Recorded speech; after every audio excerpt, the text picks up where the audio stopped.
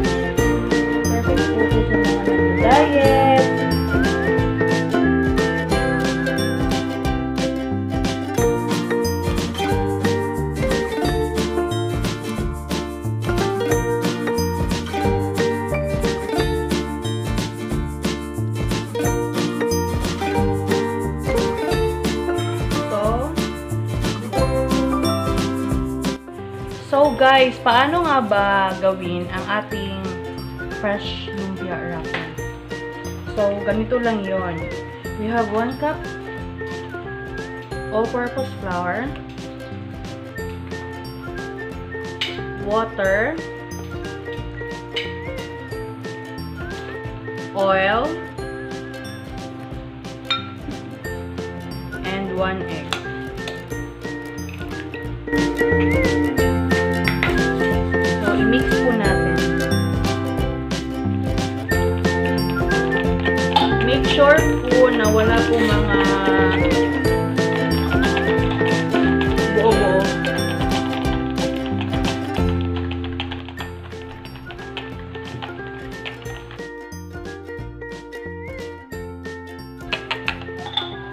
So guys, pwede na po ito.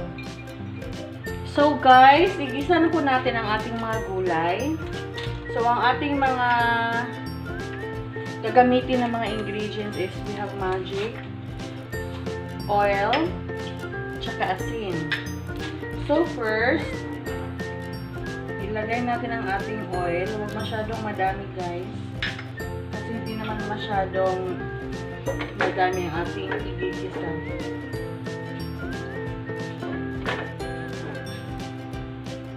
After that, unahin po natin ang ating kamote kasi matigas po ang ating kamote.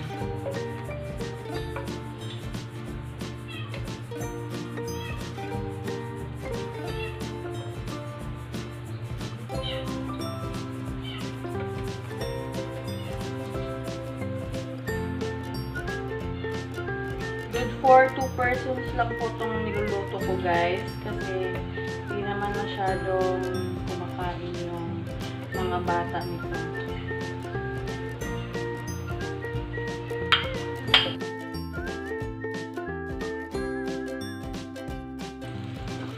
After that, ilagay na po natin ang ating carrots.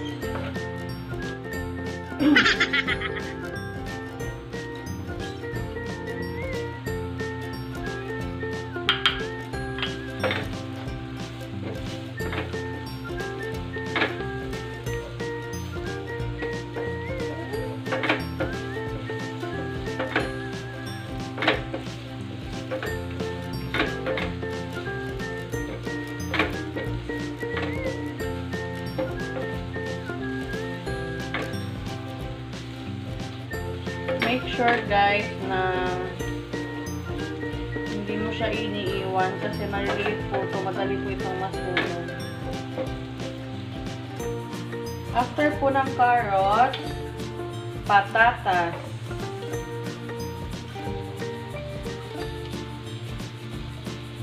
After po ng patatas, ilagay na natin din ang ating singkamas.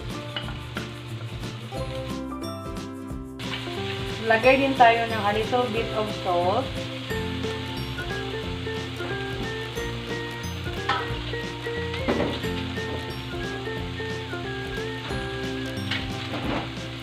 At huwag kalimutan ang magic.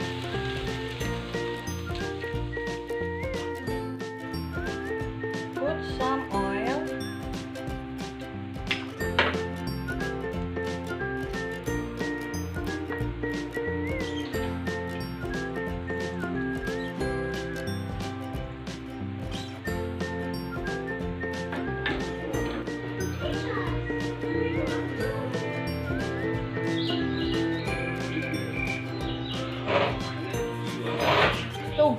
Tapos na po ang ating ingredients for fresh lumpia. So meron na po tayong lumpia wrapper. So nilagyan ko na dito ng lettuce para ready to lagay na tayo. So first, maglagay po tayo ng veggies. So damihan natin ng konti.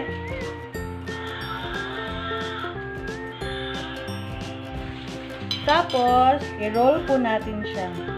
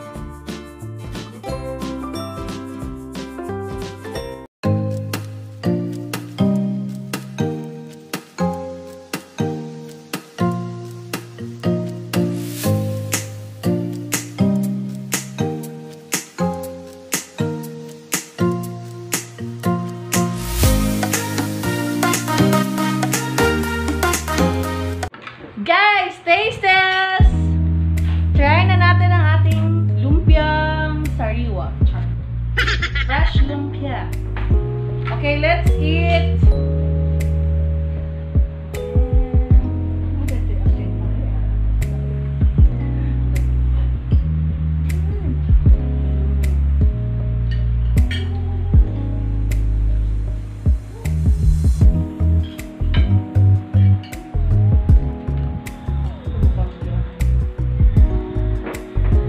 First bite.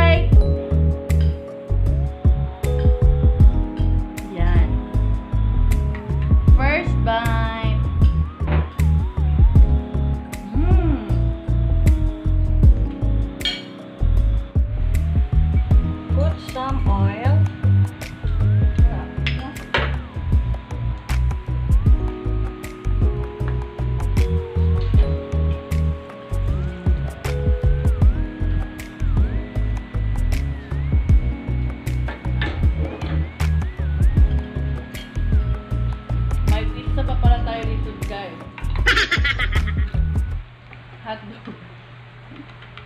French fries.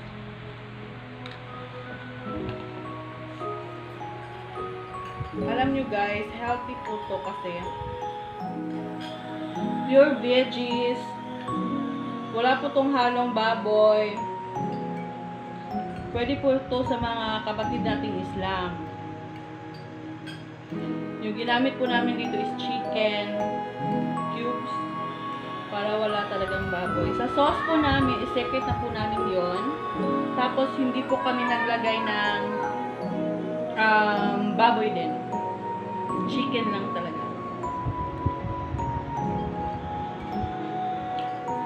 Para sana magda-diet dyan.